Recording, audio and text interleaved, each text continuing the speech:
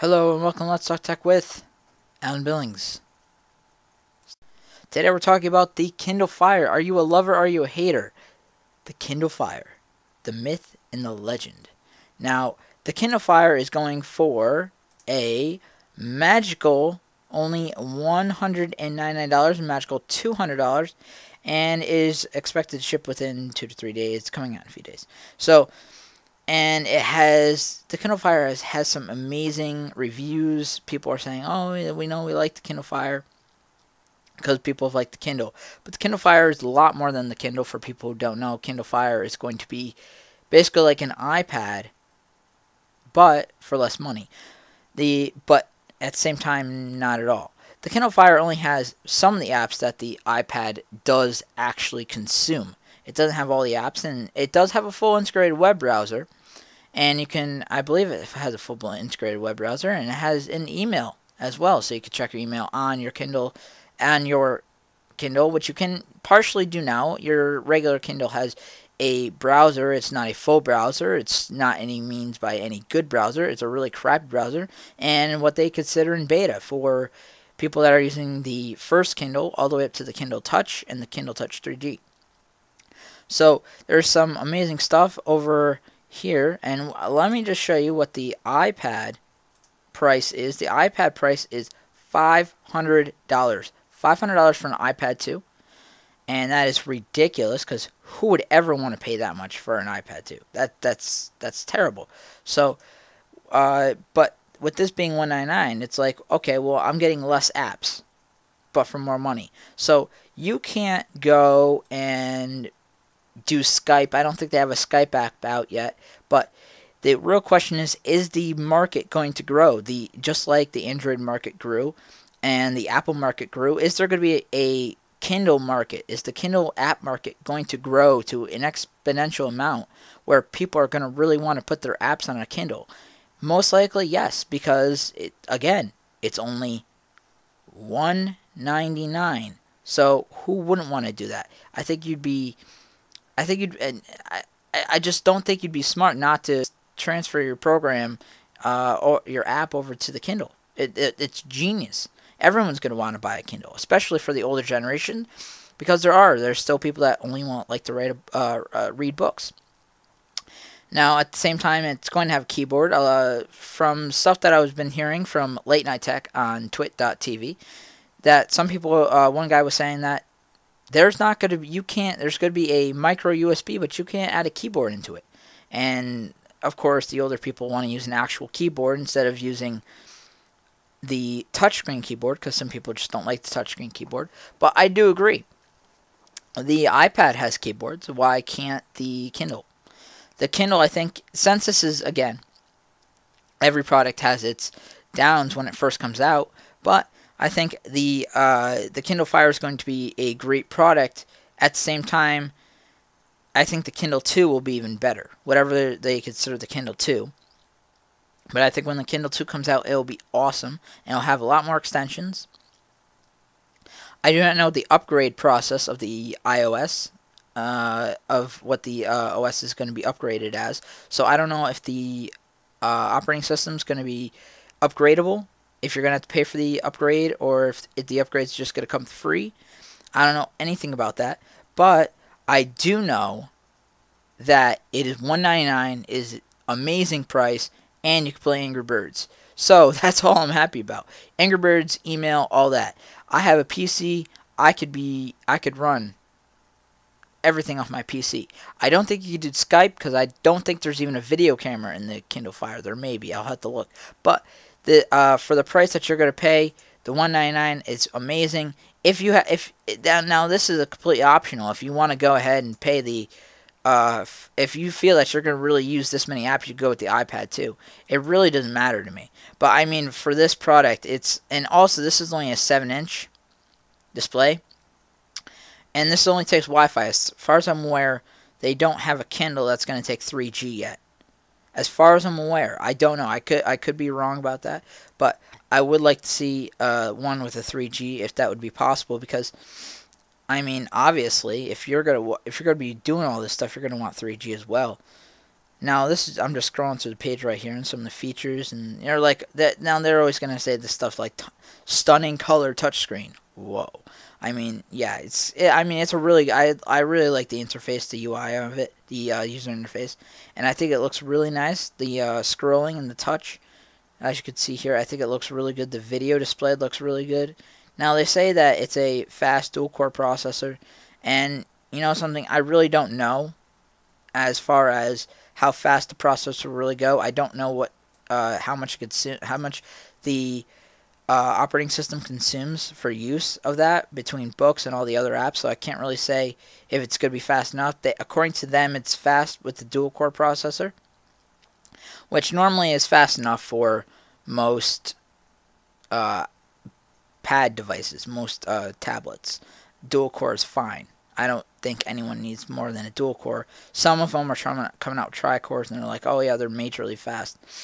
Now, again, uh, interesting. I don't know if the the uh, magazine in rich color came out, uh, not just magazine in general.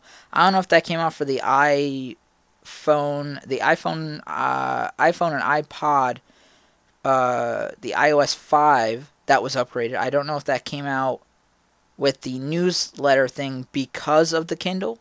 I don't know if Apple looked at that and said, "Oh, they're coming out with that. We got to come out with that." And I don't know if that was a big controversy about that or if what was the decision being made on that, but I definitely think it was because they saw that they were making it, that Amazon was going to make this Kindle that obviously you can already read the magazines on there, but all of a sudden the Kindle Fire is going to be this huge thing, and now it's actually become a threat. The Kindle was not as big of a threat to Apple before because it was just a reader. Now that it's stepped into tablet territory, it stepped into what Apple considers their territory.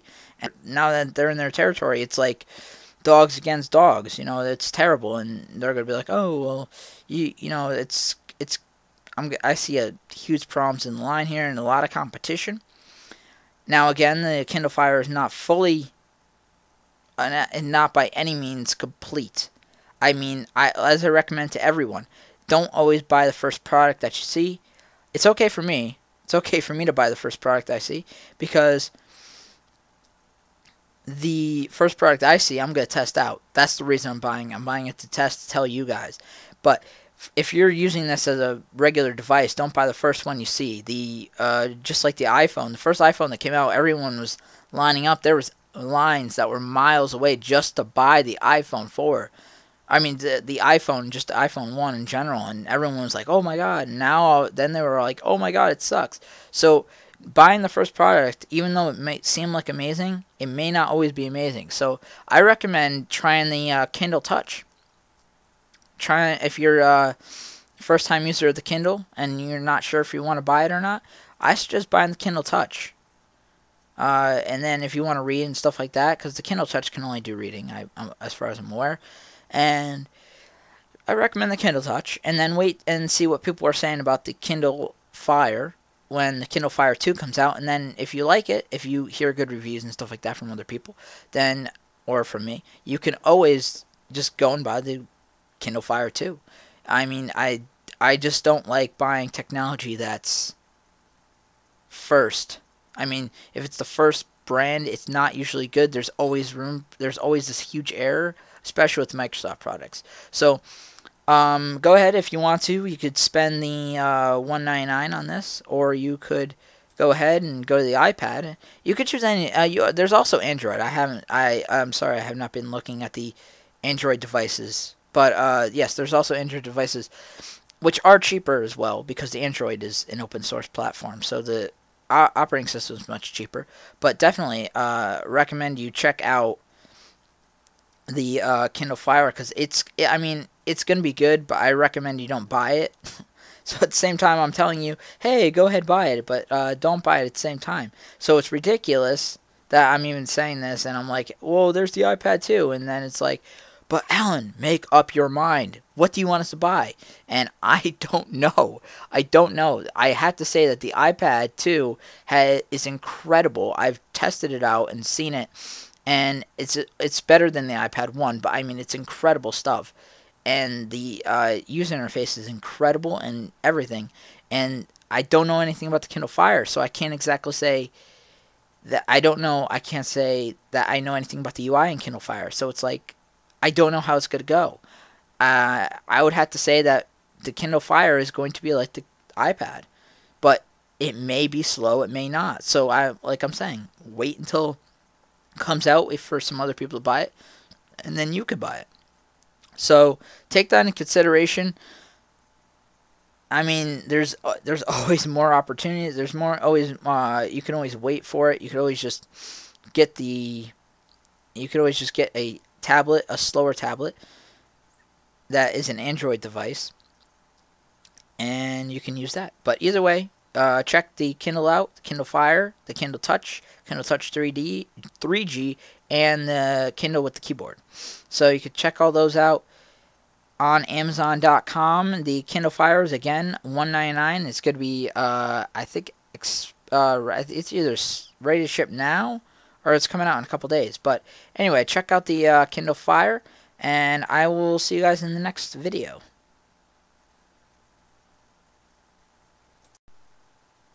Today we're talking about the Kindle Fire, sold by Amazon.com.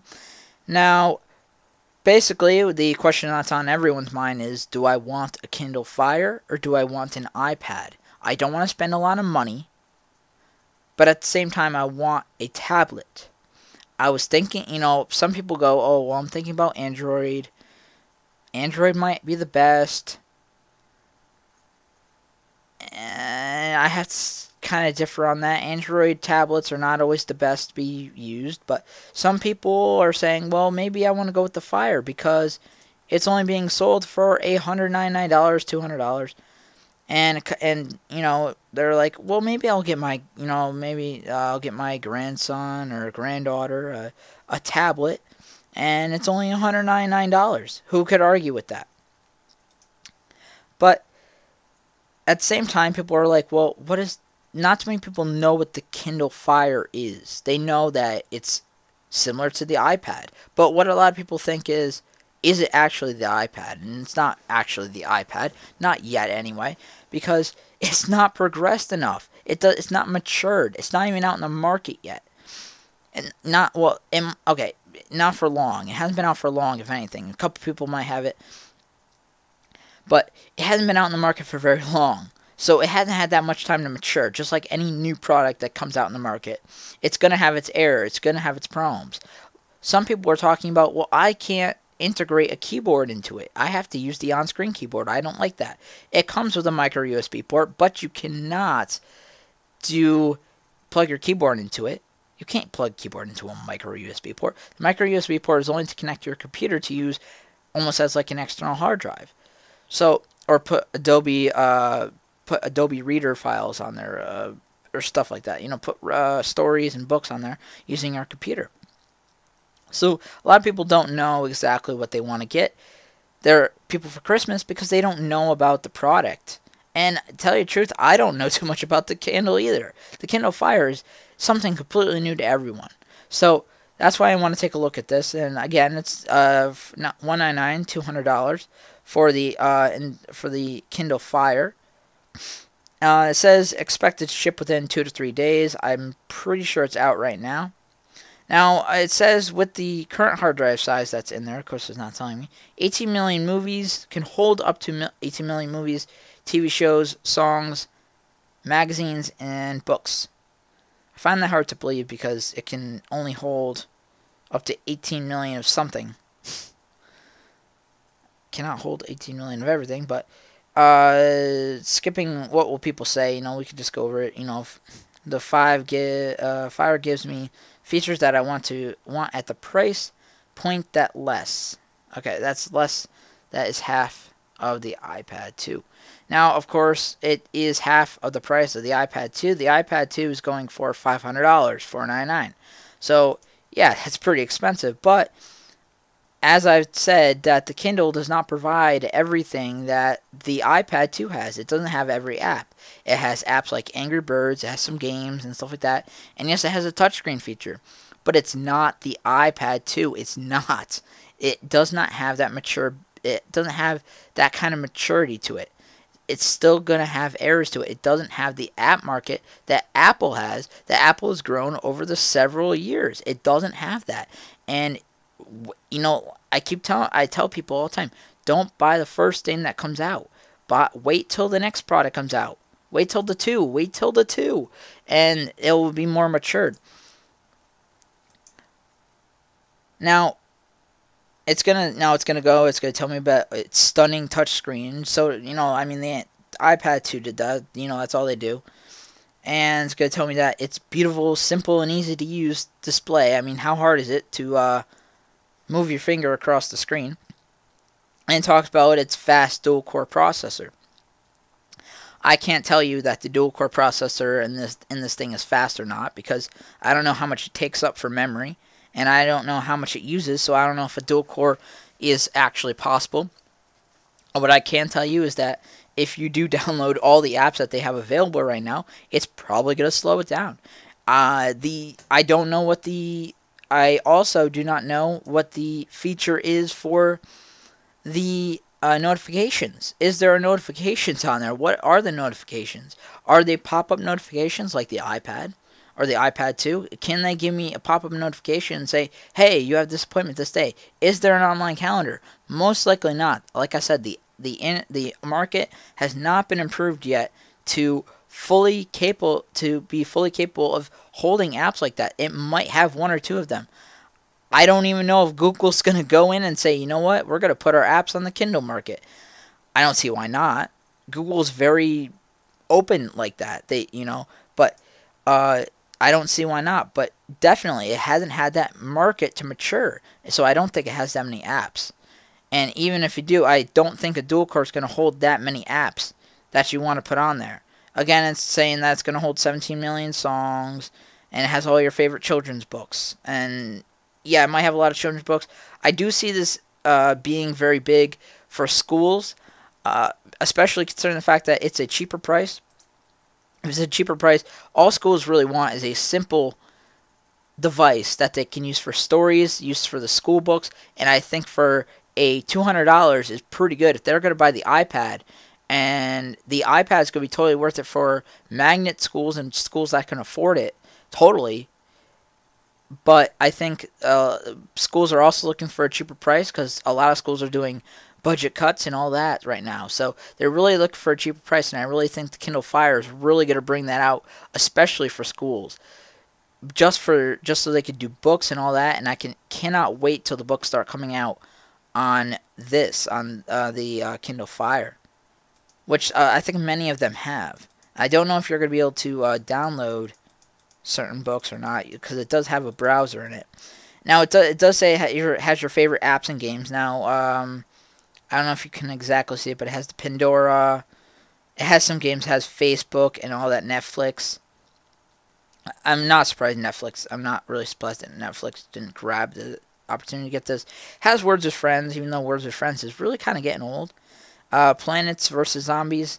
I mean, it has a lot of popular games, but again, it shows all these apps that are in here. But again, it hasn't had that maturity market to have those amateur people that there there are there are amateur things that are on the uh, the app store and there's amateur apps and some people like those amateur apps because they're not fully business incorporated apps and they're just simple tools some people like that i don't and again like i said i don't know exactly what the full extent is to how much they are how much their market is and exactly how many apps they have but they do say they have many apps and they're like, oh, we have all your favorite apps and games. Well, that's just your top. What about the ones that people don't use that much?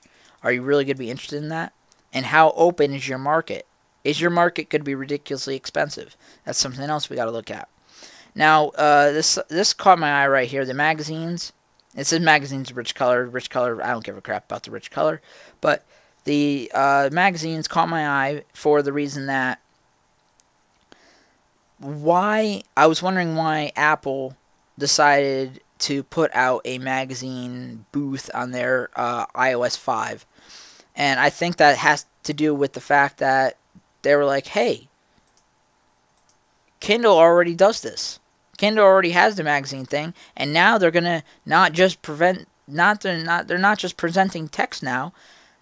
they're going to present the entire magazine full color you know full color display we have to get this out there so i don't know if that is what uh, told brought them to doing this or if that was they were like well we want to be or we want to beat kindle before they come out with this i have no idea and i have no idea what went on behind the scenes or anything but i definitely think this had something to do with the fact that they were like hey we got to get this out we got to get this news uh, this news magazine thing out I just want to know is it going to be cheaper?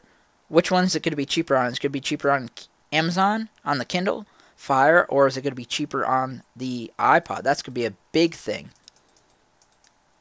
That's going to be huge because no, eh, not only would it be cheap to buy the product, but it would be cheap to buy the magazines to the product as well. Are the apps going to be cheaper? Because it's Amazon, most likely it's going to be cheaper and it's going to prevent some of these places to go and say, "Oh, well, we have to lower our prices." A lot of places are not going to want to do that, especially Apple. Apple is known for being very well. Microsoft's known for being very greedy, but Apple is known for being super greedy. So I recommend that you check it out. Check out and see if you like the specs on this. You may like the specs on this better than the iPad 2. It's all a decision between do you want to pay the 500 and or do you want to pay this cheaper price the what is it $200 the $200 for the kindle you can you can do either one i mean it's it's your choice if you want to do if you want to pay the 200 or if you want to pay the uh the 500 but and a lot of people are looking for cheaper prices especially for christmas especially for their grandsons and granddaughters uh just kids in general maybe you're trying to buy one for your for your spouse or something like that. But either way you do it, it uh, uh it's coming down to price right now, and uh, and right now I see it as even though it's not matured, a lot of people look past that, and a lot of people think, well, if everyone uh, if they're putting this out and they're really throwing this out there, then it must be a good product. So I definitely recommend before you end up buying it for anyone. You check out the specs, see if they're going to like it, see if this is what they do. It does have a fully, as far as I'm aware, fully integrated web browser. I don't know if it's compatible with everything. I don't know if it has Flash. It should have Flash. I don't see why it wouldn't have Flash. But um, it has definitely has Adobe Reader on it because it can do um, read magazines and stuff. But there's there's certain things that are not going to be on there that are going to be on the iPad 2, just like the different difference between the iPad 2, just like the difference between the iPad market, app market, and the market with the um, Android market and all and when the Windows tablet market and all that. So there's going to be a difference in apps, and there's going to be a lot of popular apps that are going to be on all platforms that are going to be on there as well, like your like Netflix and all that. And I think Netflix will actually be pretty popular on there as well because Netflix is like top gun right now when it comes to movies. And now that you can watch them on your Kindle and you could read, this is going to be huge. And not that, not just that, like I said, the price is going to be huge too because it's a lower price. So definitely check it out only $200 and it's going to come with less stuff until it gets a little more mature. More opportunities. There's more always uh, you can always wait for it. You can always just get the you could always just get a tablet a slower tablet that is an android device. And you can use that. But either way uh, check the kindle out the kindle fire the kindle touch kindle touch 3d 3g and the kindle with the keyboard so you could check all those out on Amazon.com. The Kindle Fire is again 199 It's going to be, uh, I think, uh, it's either ready to ship now or it's coming out in a couple days. But anyway, check out the uh, Kindle Fire. And if you like what you saw today, go ahead and give us a thumbs up or comment in the comment section below. You could always contact us at our email, let's talk tech1 at gmail.com. Talk, uh, send us email anything you want to talk about on the show, any sort of tech news or anything that's just curious on your mind, or if you're trying to get something to work, you can't get something to work, you need help with your computer, you could always email us there at let's talk tech1 at gmail.com. You can also visit our website, let's talk tech show.com, where all of our links are to our news feeds, to our Facebook page, to our new Google Plus page, as well as our blogger feed, our anything that we have for feeds, anything that we have for social media websites, it's on the website. Go to letstalktechshow.com to check it out. My name is Alan Billings, and I am host of Let's Talk Tech Show News Online.